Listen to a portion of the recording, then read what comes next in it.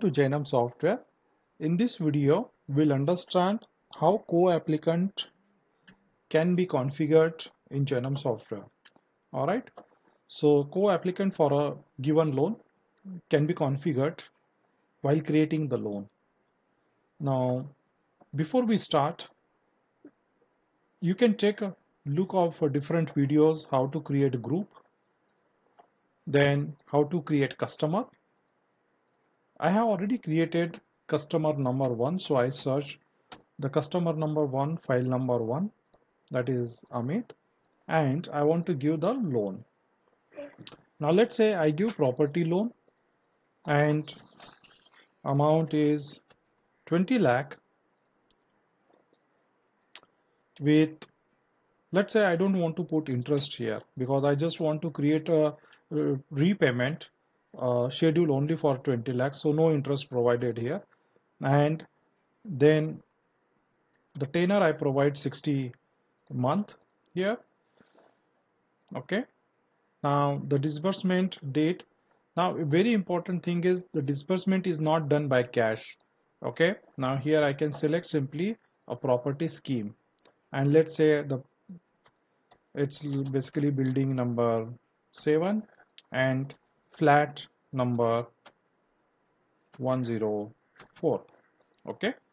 And these are few details how I want to collect when the first installment should get started and other details.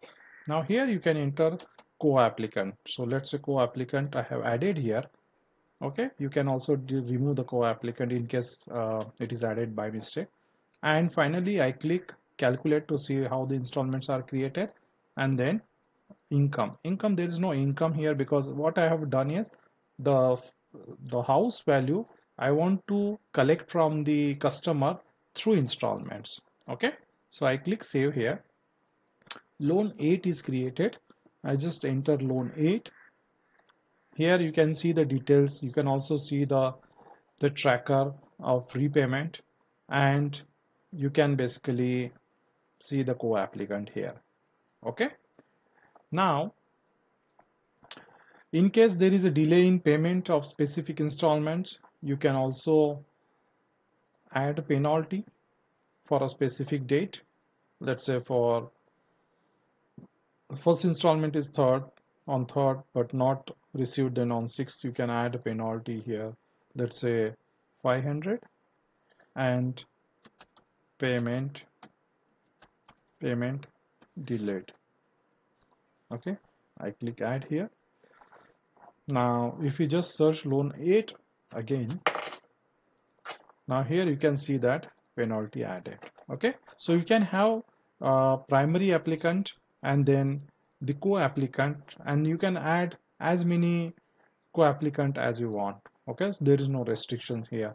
And in addition to this you can also provide login to this specific um, user or customer for doing the digital payment okay? How that can be done?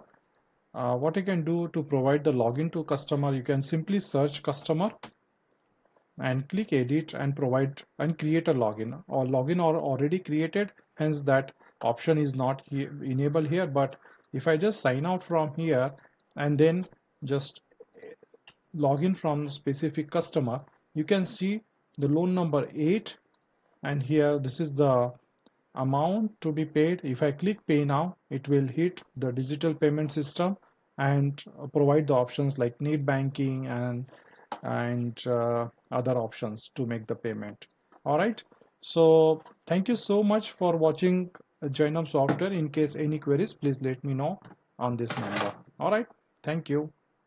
Have a great day